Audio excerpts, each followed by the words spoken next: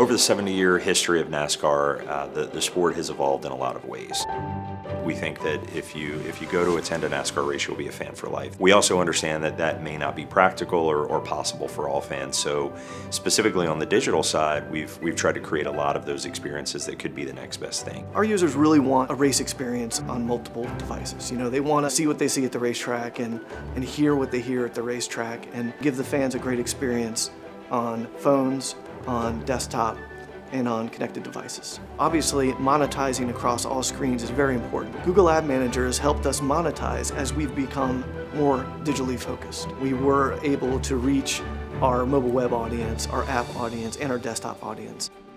The NASCAR Drive product is something that we've made available not only on the NASCAR.com website, but also as part of the NASCAR mobile app. Imagine the ability to, to not only ride shotgun with your favorite driver, but to, to control the viewing experience. The unpredictable nature of NASCAR races is, is, is something that endears us to our fans. As much as you don't know what's going to happen on the track, that certainly creates some uncertainty in the ad world.